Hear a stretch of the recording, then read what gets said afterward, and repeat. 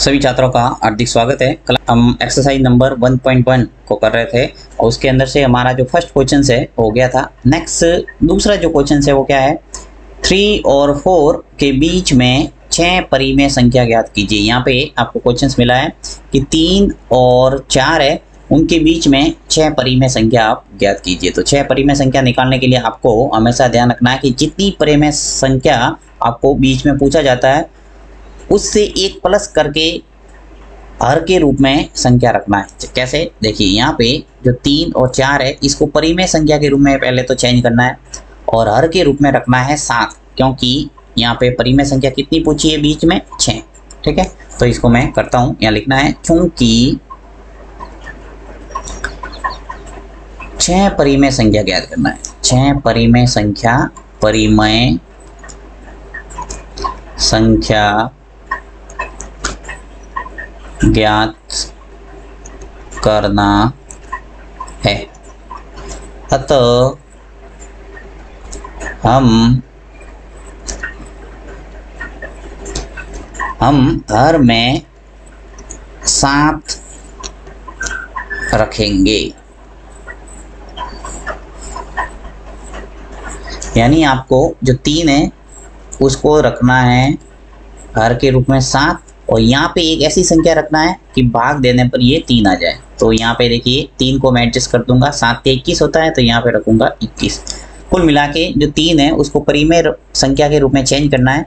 कैसे? इक्कीस बटा सात के रूप में। और मैंने नीचे सात क्यों रखा? क्योंकि मुझे छः परिमेय संख्या पूछा था।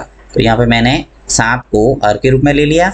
और यहाँ मुझे तीन लाना था, इसलिए इक्कीस रख दिया ऊपर। क्योंकि सात दिया इक्कीस होता है, यानी इक्कीस के अंदर सात का भाग जाएगा तो आ जाएगा तीन। फिर इसी प्रकार इसी प्रकार फोर को भी चेंज करेंगे तो देखिए फोर बराबर आ गया, इसको भी मैं हर के रूप में सात रखूँगा। अब मुझे चार लाना है तो क्या रखना पड़ेगा यहाँ? अट्ठाईस। क्योंकि अट्ठाईस के अंदर सात का भाग जाएगा तो वापस आ जाएगा चार।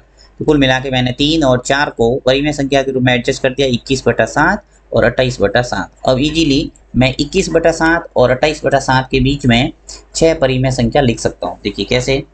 यहाँ लिखूँगा। तीन तथा चार के बीच छ परिमय संख्या।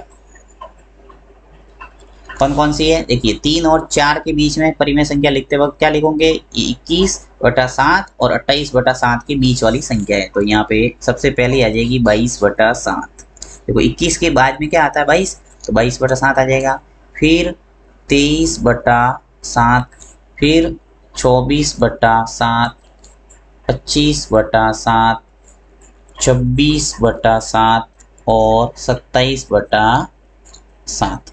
देखिए, अट्ठाईस लास्ट है तो अट्ठाईस से पहले पहले सत्ताईस बटा सात आ गया। यानी छः परिमेय संख्या आपको मिल गई, देखो exact one two three four five और सिक्स ओके तो इस ढंग से आपको परिमेय संख्या है, वो बीच में निकालना है। कुल मिला के इसमें ध्यान रखने वाली बात क्या है कि जितनी भी परिमेय संख्या आपको पूछा जाता है, उसमें एक प्लस करना है। यहाँ पे मुझे छः पूछा था तो मैंने हर के रूप में कितना रखा है? सात। और यदि आपको जैसे पाँच पूछा है तो आप क्या रखोगे? हर के रूप में छः और ऊपर उतनी संख्या रखना है कि छह का भाग जाने पर वापस वो आपको संख्या मिल जाए। तो ऐसे कोई भी संख्या आपके बीच में, परिमेय संख्या आप निकाल सकते हैं इजीली